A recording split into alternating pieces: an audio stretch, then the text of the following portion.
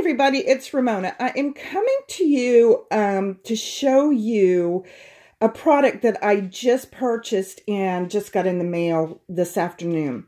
This is called the Bloom Embellishment Storage Unit by We R Memory Keepers.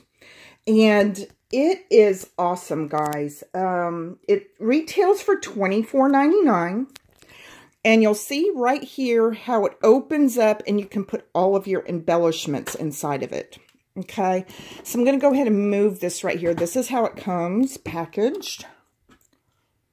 And I'm sorry, guys, it is a little dark in here. It always is inside um, my house for some reason. It's the way it sits. It gets really dark. The only complaint that I have about this unit, and it's easily fixed, is it needs to have some rubber feet on the bottom of it.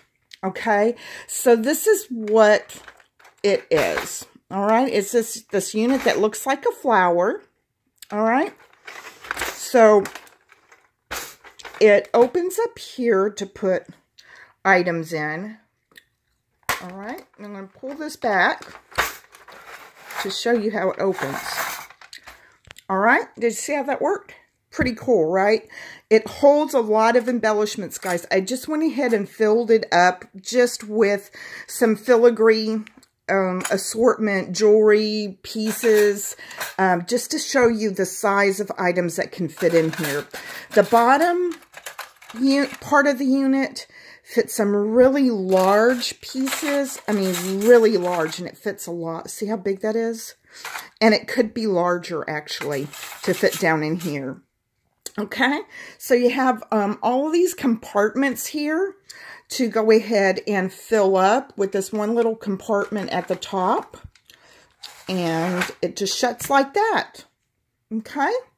But like I said, the only complaint about the unit that I have is it needs rubber feet on the bottom of it. And that's easily fixed. I don't know why We R Memory Keepers did not think about doing that. But this is the coolest little unit, guys. I'm actually thinking about getting another one um, to put on my table, not in my craft room, but to put on my table whenever I craft in the kitchen area.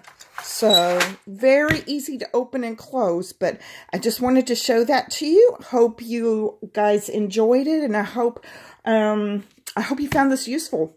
Talk to you later, guys. Bye-bye.